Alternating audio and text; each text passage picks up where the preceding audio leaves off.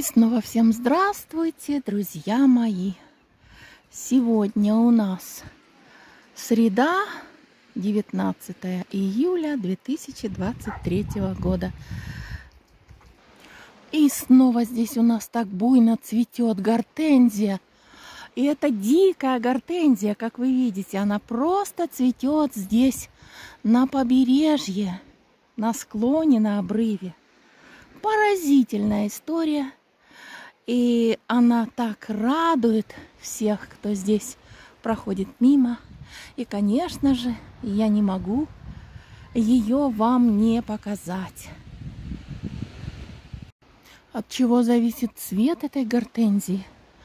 Кто что говорит по этому поводу? Кто-то говорит, что э, ее специальным раствором поливают, чтобы она была синяя, а чаще всего она, конечно, розовая. Ну вот видите, нет. Оказывается, что и здесь, в диком произрастании, она тоже красивого синего цвета, голубого. И когда так буйно цветет она здесь, огромными шапками, то вот эти маленькие розочки внизу кажутся такими незаметными. А ведь это тоже дикие розы. Иногда даже удивление такое приходит, знаете, как может быть дикие кусты так обильно цвести. Никто их не удобряет, никто их не поливает, никто за ними не ухаживает. Но тем не менее, вот такая красота на диком берегу. Я живу на одном ну а ты на другом, на высоком берегу, на крутом. А берег здесь и правда высокий. Посмотрите, это если с высокой съемки, с хеликоптера снимать. Вот так этот берег выглядит. Я когда-то вам показывала, какие здесь у нас бывают оползни, обвалы. Посмотрите видео, вверху вам всплывет. Но, вы знаете, вот все равно цветы, хотя этим кустам совсем немного лет. Говорят, что не больше пяти лет. Вот так они красиво растут.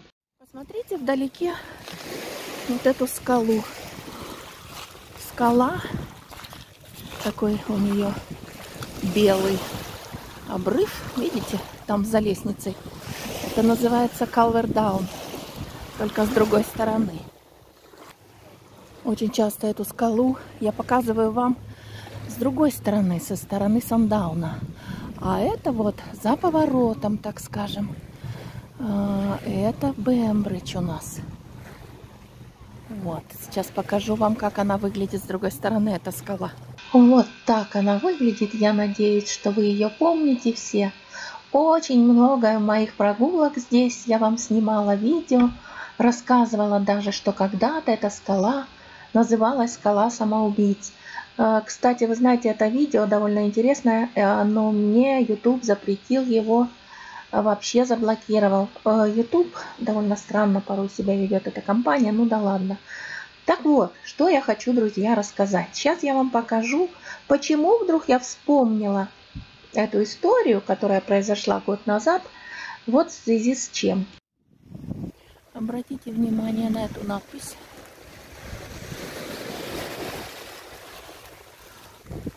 Обязательно надо перевести будет 52-2019 уже этот Мишель был довольно взрослым человеком. И это его, как тут написано, последнее купание, да? Дословный перевод Bones Last Post. Последнее пристанище костей вот этого человека Мишеля. И лет ему 67, как по датам можно определить. Так вот, вы знаете, во-первых, кстати, последнее пристанище костей как-то для меня, например, непонятно, что человек там утонул или что-то такое подобное. Ну, я перевела именно так, что что-то там случилось с этим человеком. И я вспомнила свою историю, как раз, которая произошла здесь, вот на побережье Калвердаун. И это очень-очень странно было. Я едва там не утонула.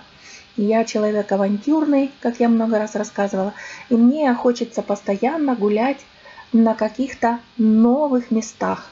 И я, вот знаете, преодолеваю препятствия. Иногда эти препятствия бывает довольно сложно преодолевать, даже людям молодым. Ну, а мне всегда хотелось вот туда завернуть за край этой скалы. Тем более, что я гуляла здесь очень далеко, но никогда в самый-самый конец туда я не подходила. И вы знаете, что меня подвигло все-таки туда пойти? Я видела, что здесь такое огромное нагромождение камней, и ходить довольно сложно. Но вот я иду, помню как раз, идет мне навстречу женщина моего возраста, такая полноватая, даже, наверное, по комплекции полнее меня. Она идет с собачкой, прогуливается и уже идет мне навстречу, как бы даже оттуда из-за угла. Э, я у нее спрашиваю, а вы что, туда за угол ходите? Она говорит, да, я туда с собачкой гуляю постоянно. Я говорю, что, серьезно? И там можно пройти? Она говорит, да, вот сейчас отлив, и как раз вы сможете пройти. Я еще так удивилась, думаю, ну хорошо, если с собачкой женщина смогла туда пройти, так пойду и я. И я пошла. Женщина, как вы понимаете, коренная англичанка. И когда я уже пошла, пошла, пошла, пошла, стала скакать по вот этим вот ужасным камням, она мне кричит такая «Good luck!» и расхохоталась. Меня это немножко напрягло. Думаю, какое-то странное такое поведение у женщины. Но все-таки я ей поверила, и я пошла. Вот посмотрите. Чем ближе я подходила э, к этой скале, к повороту этой скалы, тем страшнее там было идти. Ну, конечно же, вы видите отлив. Вода ушла. А, но тем не менее, она здесь кое-где еще оставалась. Конечно же, было идти очень красиво. Я люблю все это наблюдать, там камешки, крабики. И вот так вот, перепрыгивая с камня на камень, я все продвигалась и продвигалась. Кажется, что вот он рядом, этот поворот. Но тем не менее, вы знаете, мне пришлось там скакать, наверное, еще минут 30. И все-таки, несмотря на все странности, на все трудности этого пути, я уже поняла, в общем-то, что я пошла, наверное, зря, что мало ли что случись, камни очень скользкие, можно поскользнуться. И если, не дай бог, здесь упадешь на камнях, то тут и голову можно разбить. Не говоря уже о том, что можно руку-ногу поломать. Вы представляете, да? А, при том, что, еще раз повторяюсь, камни все обросшие а, вот этими водорослями, они очень скользкие. Я поняла, что я, наверное, зря пошла туда. Но когда я обернулась и посмотрела на тот путь, который я уже прошла, во-первых, мне как-то даже стало немножко обидно, как же я тут совсем, совсем немножечко, ну, кажется, руку протяни, и я уже там за поворотом. Я думаю, нет, ну не буду я возвращаться. Тем более, что обратный путь мне показался более длинным. В общем, так скажем, я сама себя загнала в ловушку. Мне уже было, знаете, как-то не до съемок, а вы же видите, что я еще пыталась тут поначалу что-то такое снимать вам на камеру, делать видео. А это стабилизатор, и эта рука занята одна.